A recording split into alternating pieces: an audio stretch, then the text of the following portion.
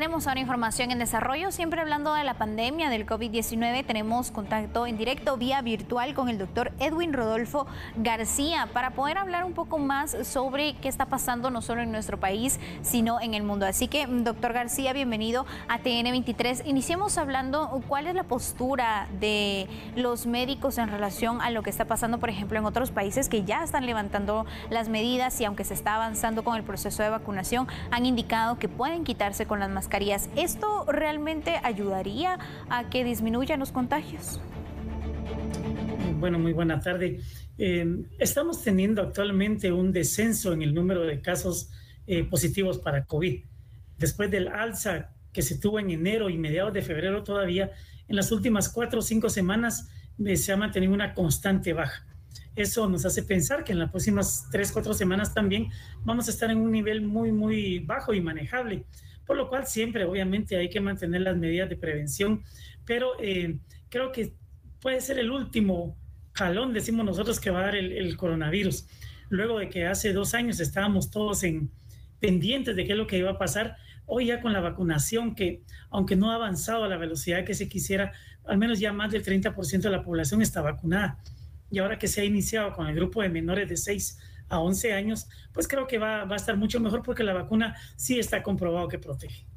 Definitivamente, doctor, las personas que están vacunadas contra el COVID-19 al momento de adquirir COVID-19, de contagiarse, generalmente los síntomas son menos. ¿Cómo están los centros asistenciales en cuanto a la capacidad para poder atender a las personas? Cada vez son menos quienes necesitan atención médica. Así es, eh, eh, el porcentaje ocupacional que tenemos ahorita no es ni siquiera del 15%, comparado con el 100 o más que teníamos hace unos meses. Eh, es muy poco, aunque pueden salir varios casos positivos, es muy poco aquel paciente que está necesitando hospitalización. La mayoría que necesitan hospital es porque no se han vacunado o aún teniendo la vacuna tienen algunos factores de riesgo como la obesidad, de otro tipo de enfermedades concomitantes. Los factores de riesgo no han cambiado. Lo que ha cambiado es la severidad de la enfermedad en aquellos pacientes que tienen o no tienen la vacuna, pero en, los momentos actuales yo le diría que estamos por debajo del 15% de ocupación a nivel nacional de las áreas de COVID. Doctor, hablemos ahora sobre el personal de medicina, porque sabemos que durante dos años ustedes han estado en la primera línea y prácticamente han trabajado de forma imparable. Esto hasta cierto punto viene también a ser un respiro, el hecho que ya vayan bajando los contagios de esta enfermedad. Así es, el COVID nos ha ocupado el 100% del tiempo. Sin embargo, no olvidemos que las demás enfermedades siguieron estando presentes, o sea, que nos teníamos que dividir entre COVID y las enfermedades que todo el tiempo están. Con este receso o con esta tregua que nos está dando el COVID, nos permite atender al otro tipo de pacientes que normalmente acuden a los hospitales. Nos ha permitido rediseñar algunas estrategias de atención y pues estamos esperando que ya conforme la vacunación avance, ya no sea necesario saturar los hospitales como estuvieron hasta el mes de octubre noviembre del año pasado. Doctor, ¿cuáles son las principales lecciones en cuanto a la atención de, pacientes contra el COVID-19, tomando en cuenta que también eh, varios del personal de salud, y no, hablemos no solo de médicos, enfermeras, sino también de personal administrativo, en el momento que aún no se tenía acceso a la vacuna, ellos murieron. Así que, ¿cuáles son también esas lecciones que deja la pandemia? Bueno, yo creo que la lección principal es que todos nos cuidamos entre todos. Si yo me cuido, cuido a los de mi entorno y, viceversa. Creo que la lección principal acá es que independientemente de, que de la severidad con que nos ha dado el COVID y lamentablemente muchos partieron por esa causa, eh, la, la, principal lección es de que nos tenemos que cuidar. Uno cuida a los demás, los demás lo cuidan a uno y no debemos bajar la guardia todavía. Aunque estamos cerca del final, o al menos de retomar cierta, en cierta parte la, la normalidad, no estamos todavía para descuidarnos, no hay que relajarse el uso de la mascarilla, la distancia y el alcohol es lo principal y eso no ha variado todavía.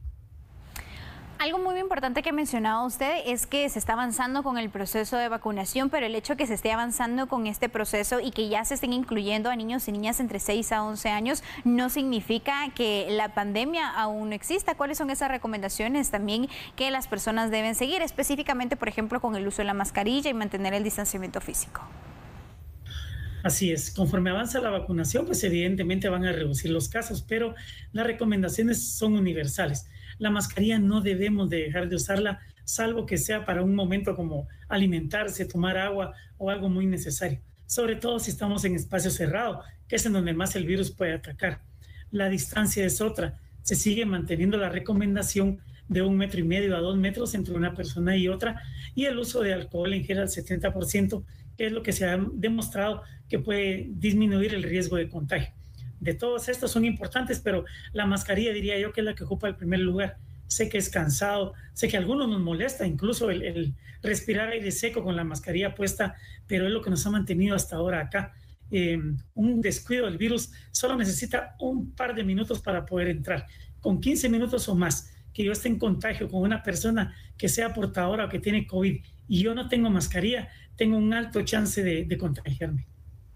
Doctor, ya nos mencionado usted estas recomendaciones, también importancia de la vacunación contra el COVID-19, el esfuerzo que está realizando el personal de salud en el contexto de la pandemia. Ahora, para finalizar, hablemos de estas variantes del COVID-19, porque sabemos que a inicios pues había un repunte de contagios, no solo en Guatemala, sino a nivel mundial por la variante Omicron. ¿Podría haber otra variante que venga nuevamente a incrementar los contagios?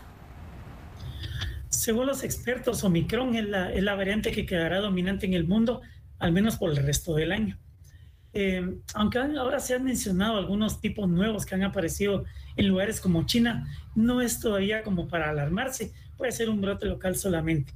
Eh, la Omicron se quedará ya como una enfermedad endémica. Ya dentro de poco la OMS la va a declarar así.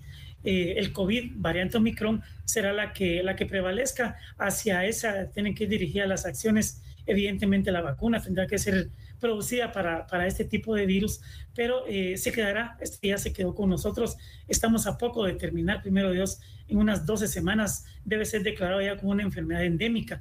Ya sabemos después de prácticamente dos años en qué temporada, de, qué estación del año este virus nos va a atacar. Entonces ya lo podemos esperar con las medidas que todos, ya todos conocidas.